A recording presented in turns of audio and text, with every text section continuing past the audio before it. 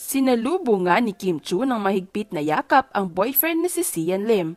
Mukhang may rehearsal din kasi si Sian sa ABS-CBN building. Talagang binisita pa ni Sian ang girlfriend at halatang halata sa mukha ni Kim ang pagkamis kay Sian.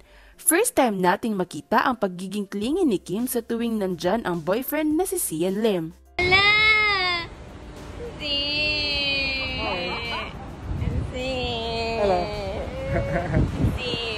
Maging sa dressing room ni Kim ay nandoon din ang aktor. Spotted ang pagiging sweet nila sa isa't isa. Siyempre bilang boyfriend ay nag-promote din si Sian sa bagong show ni Kim ang Bawal Lumabas.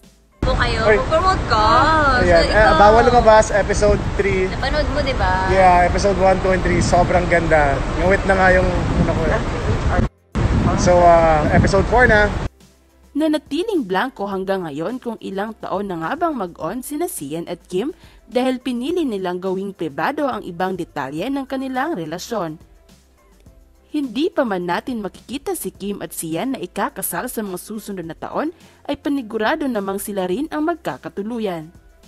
Yan po ang latest sa showbiz.net. Don't forget to hit like and subscribe to our YouTube channel for more showbiz update.